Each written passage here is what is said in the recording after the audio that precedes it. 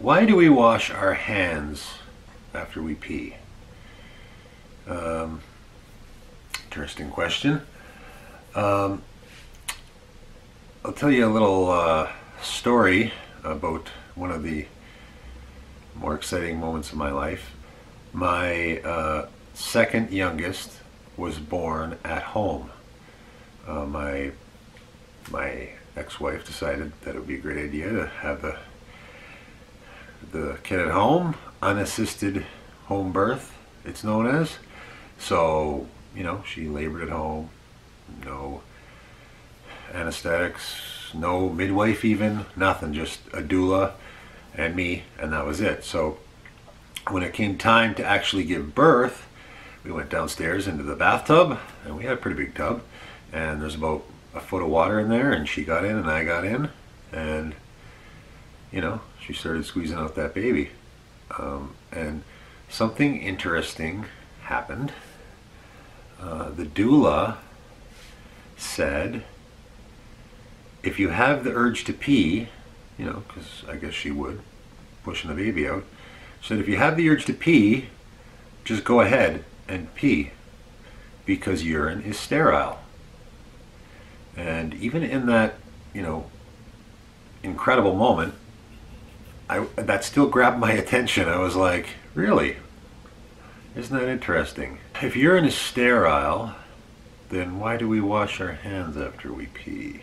First of all, I mean, in, in the billions and billions of times, well, maybe not billions, but in all the times that I have that I have urinated, I mean, let's say since I've, I've been an adult, since I was 18, the amount of times that I've urinated and gotten urine on my hands, it's got to be less than 1%. I mean, it, I, I don't know what everyone else is doing, just spraying like a garden hose or what, but I, I mean, it's got to be less than 1%. And if that happens, yeah, I, I know what urine on my hands, so I'll go and I'll wash it off, right? Um, but, you know, if that doesn't happen, then why am I washing my hands? Um, even if I do get urine on my hands, it's sterile. Why do I need to wash it off? Really, it's it's almost like getting water on your hands, right? Um, I mean, anyone watch like uh, Bear Grylls, the survival guy? He drinks his own urine, right? It's it's a it's a common survival tactic.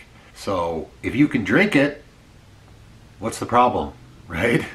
You know, I think this sort of goes back to the Victorian era where it's like, you know, it's not about the urine, it's about the member, right?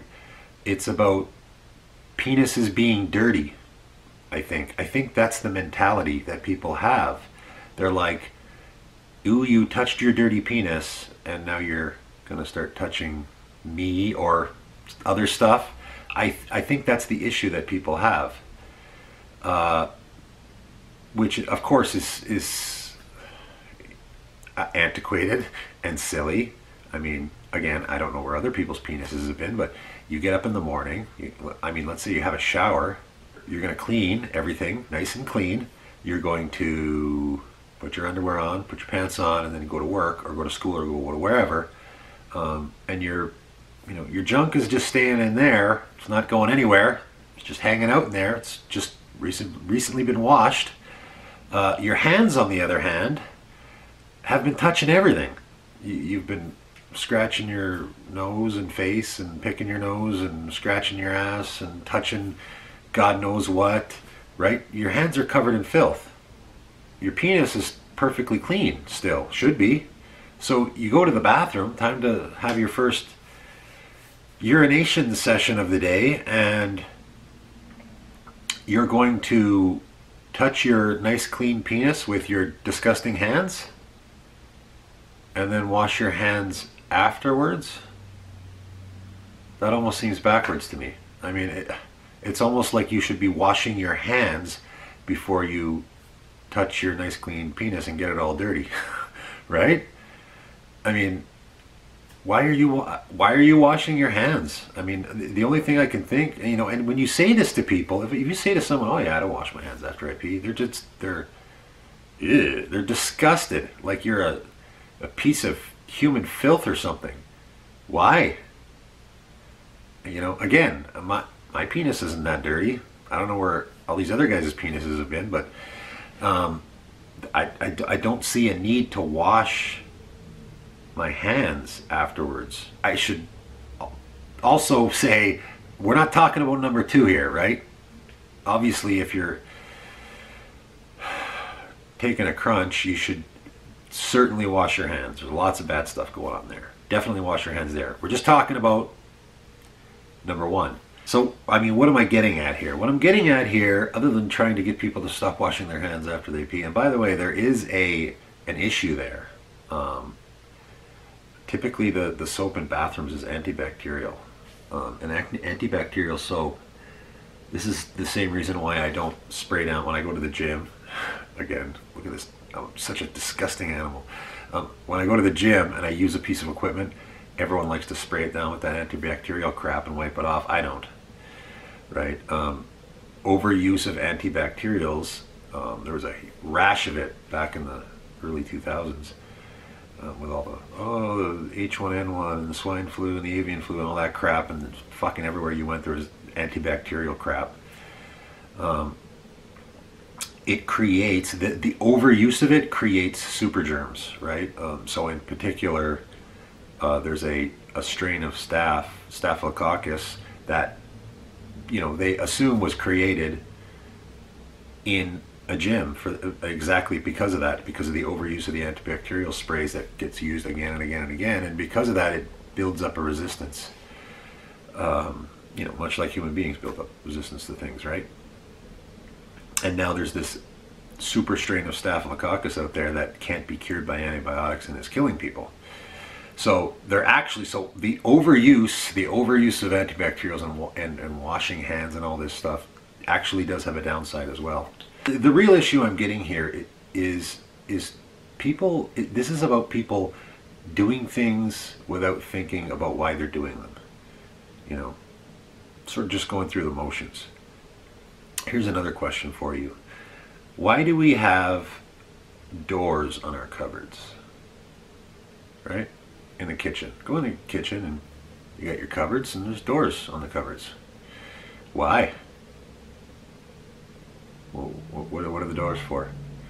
Um, I mean, what is this, Beauty and the Beast? Your dishes are going to fly off the shelf and start dancing around? There's no need for the doors, right? They're, they're just, cupboards are cup boards. They're just shelves to put your cups on and your plates. What are the doors for? You don't need them, right? But I bet if you went into somebody's house and walked into their kitchen and none of their cupboards had doors, you would be like, who is this freak? You know, you'd probably be like, you'd think they were a hillbilly or something. But there's no need for the doors. In fact, it's just an inconvenience because then you have to open the door to grab a cup. If there's no door, then you just grab the cup and away you go. You know, more to the point, if someone, you ever been over at your friend's house and you're getting a glass of water and you're like, which one's the cups in? And you're opening all the damn doors. There's no doors. You just go, oh, there's the cups, and you grab one, and away you go. Right? It's an it's actually an inconvenience. I mean, again, it's it's one of these things where it's like, okay, well, why are we doing this then? Why are we?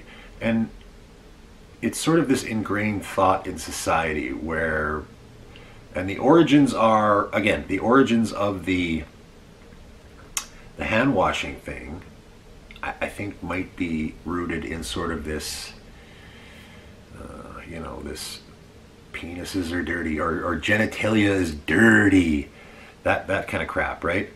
Um, I think it's rooted in that. Um, the the doors on the cupboards thing, I think, is a.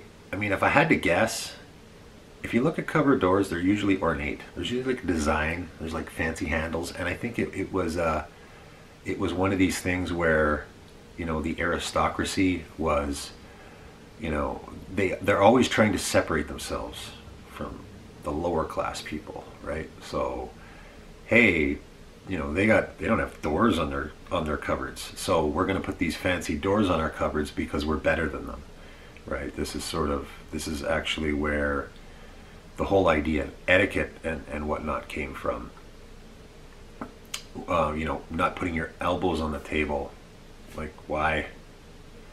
Um, you know, all, all these things came from the aristocracy or the royalty, nobility, trying to further them, trying to separate themselves from the lower class people. We're better than them because we don't put our elbows on the table.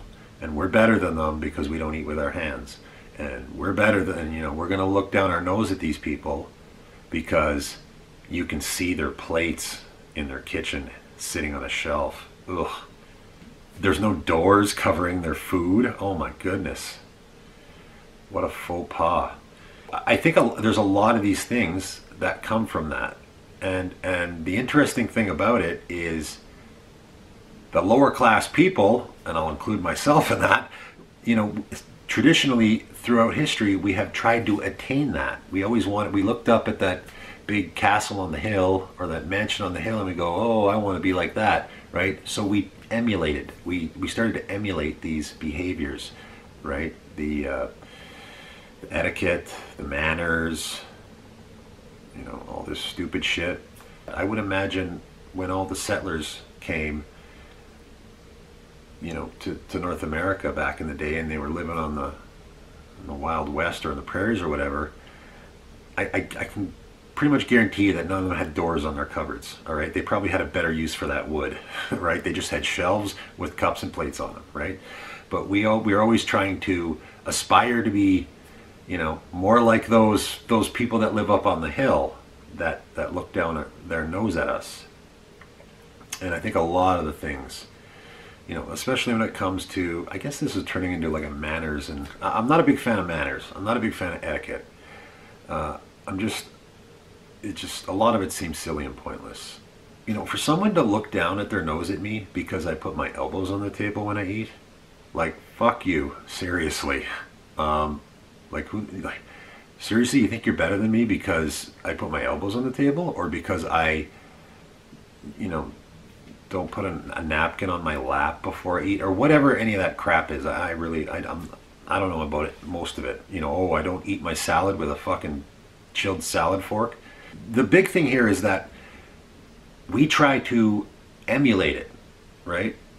Yeah, you have all those snooty, you know, aristocrat types that are that think they're better than everyone, but you know, all the, the blue collar people are still trying to emulate that. They're still trying to be like that. Um, and, you know, I guess we've sort of progressed in that direction throughout history because we've always, you know, in a way looked up to them and wanted to be like them, right? So, I guess ultimately this this video is just uh, sort of about this video is sort of the crux of my whole, all my videos, which is just think about what you're doing. Just, you know, don't just go through the motions. Don't just get up every day and, and do, you know, what everyone else is doing or just don't always do what you're told. You know, think about it. Think about, like, why? Why are we washing our hands after we pee? Why are we, why do we have doors on our cupboards? Why do we, you know, why do we have pillows? Why do we have pillows? Why? You know, pillows. I think were invented because people used to sleep on a on on the ground or, you know, some hay, so they needed something to rest their head on. We sleep. Our beds are essentially giant pillows. Why do we need pillows? It actually causes back problems. You know, so just think about it. Just just think about what you're doing. Ask questions. Ask questions, everybody. That's what I'm doing.